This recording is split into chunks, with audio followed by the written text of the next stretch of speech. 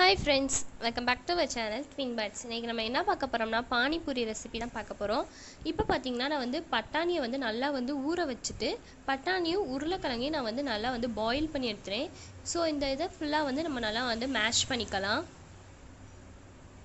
உங்களுக்கு வந்து பட்டாணி இல்லை அப்படின்னோம்னா நீங்கள் வந்து பட்டாணியை ஸ்கிப் பண்ணிக்கலாம். வெறும் வந்து பொட்டேட்டோ மட்டுமே நீங்கள் வந்து யூஸ் பண்ணிக்கலாம். ஸோ நல்லா பாயில் பண்ணி நல்லா மேஷ் பண்ணிடுங்க.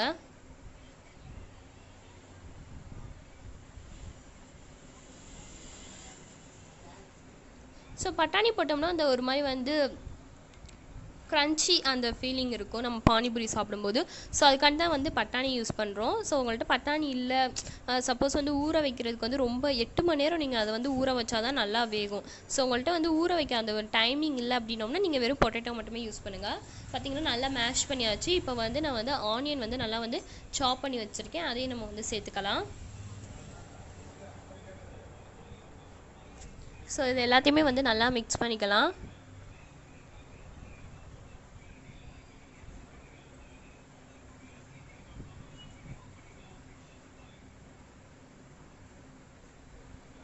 இப்போ பார்த்தீங்கன்னா தேவையான அளவு வந்து சால்ட்டு சேர்த்துக்கலாம்.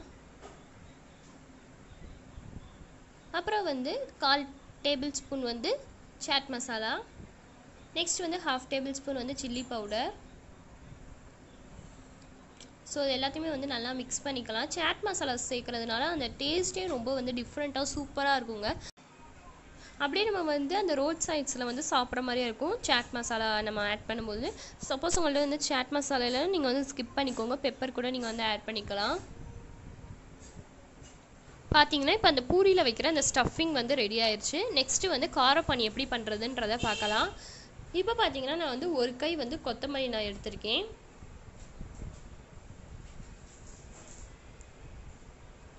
நெக்ஸ்ட்டு வந்து கொஞ்சம் புதினா நம்ம சேர்த்துக்கலாம்.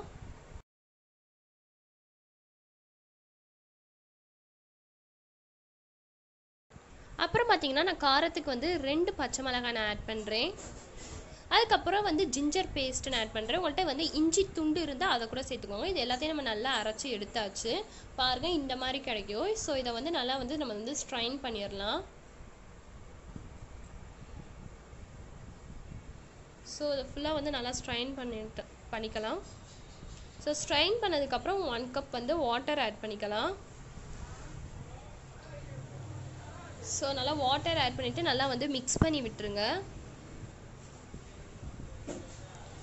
தேவையான அளவு வந்து உப்பு சேர்த்துக்கலாம். நெக்ஸ்ட்டு வந்து காரத்துக்கு தேவையான அளவு வந்து சில்லி பவுடர் நெக்ஸ்ட் வந்து ஹாஃப் டேபிள் ஸ்பூன் வந்து சாட் மசாலா நெக்ஸ்ட் வந்து கொஞ்சம் வந்து பெருங்காயத்தூள். லைட்டாக வந்து பிஞ்ச் ஆஃப் வந்து பெருங்காயத்தூள் போட்டுக்கோங்க. ஸோ இது எல்லாத்தையுமே வந்து நல்லா மிக்ஸ் பண்ணி விட்டுருங்க. பாருங்கள் சூப்பரான கார பானி வந்து ரெடி ஆயிடுச்சு இப்போ பார்த்தீங்கன்னா ஸ்வீட் பானி பார்க்கலாம் நான் வந்து லெமன் சைஸில் வந்து புளி எடுத்து அதை வந்து நல்லா வந்து ஒரு பத்து நிமிஷம் ஊற வச்சுட்டேன். ஸோ இப்போ வந்து அந்த புளியை வந்து நல்லா வந்து கரைச்சிக்கலாம். கரைச்சிட்டு அந்த புளி தண்ணியை மட்டும் நம்ம எடுத்துக்கலாம். அதில் உள்ள சக்கையை நம்ம வந்து போட்டுடலாம் பார்த்தீங்கன்னா புளி தண்ணி வந்து எனக்கு இவ்வளோ வந்து கிடச்சிருக்கு. இப்போ வந்து நான் அதை பவுலில் வந்து ட்ரான்ஸ்ஃபர் பண்ணிக்கிறேன். இப்போ இதுலேயும் வந்து நான் வந்து ஹாஃப் கப் வந்து வாட்டர் ஆட் பண்ணுறேன்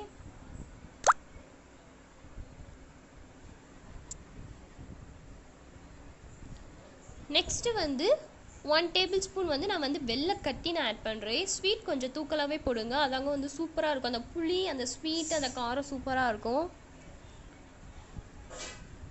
இப்போ பார்த்தீங்கன்னா நம்ம வந்து தேவையான அளவுக்கு வந்து உப்பு சேர்த்துக்கலாம். நெக்ஸ்ட்டு வந்து நான் வந்து ஹாஃப் டேபிள் ஸ்பூனுக்கு கொஞ்சம் கம்மியாக வந்து நான் வந்து காரம் சேர்த்துக்கிறேன். அதுக்கப்புறம் வந்து சாட் மசாலா சேர்த்துக்கலாம். அப்புறம் வந்து பெருங்காயத்தூள். ஸோ நம்ம காரப்பணிக்கு என்னென்ன இன்க்ரீடியன்ட்ஸ் ஆட் பண்ணோமோ அதே தான் ஸ்வீட் பானிக்கும். ஆனால் இதில் வந்து நீங்கள் வந்து வெள்ளம் மட்டும் கொஞ்சம் தூக்கலாக போட்டுக்கோங்க. ஸோ ஸ்வீட் பானியும் ரெடி ஆயிடுச்சு. பாருங்கள் பூரி வந்து இன்ஸ்டன்ட் பூரி தான். வீட்டில் இருந்தது ஆல்ரெடி அதில் வந்து ஸ்டஃபிங் வச்சு நான் வந்து ஸ்வீட் பானி ஒன் டேபிள் ஸ்பூனும் காரப்பானி ஒன் டேபிள் ஸ்பூனும் வந்து ஊற்றி நல்லா வந்து சுவையாக இருக்குங்க. கண்டிப்பாக நீங்கள் ட்ரை பண்ணி பாருங்கள் நீங்கள் வந்து ரோட் சைட்ஸில் கூட நீங்கள் வாங்கி சாப்பிட மாட்டீங்க. அவ்வளோ ஈஸி இத்தனைக்கும் நம்ம வீட்டில் உள்ள இன்க்ரீடியன்ஸ் வச்சு எவ்வளோ ஈஸியாக பண்ணலாம் அப்படின்றத இந்த வீடியோவில் கவர் பண்ணியிருக்கோம். இதை கண்டிப்பாக ட்ரை பண்ணி பாருங்கள் இந்த வீடியோ உங்களுக்கு பிடிச்சிருந்துச்சுன்னா லைக் பண்ணுங்கள் ஷேர் பண்ணுங்கள் மறக்காமல் நம்ம சேனலுக்கு சப்ஸ்கிரைப் பண்ணுங்கள் இந்த ரெசிபியை கண்டிப்பாக ட்ரை பண்ணி பாருங்கள் ஓகே பாய்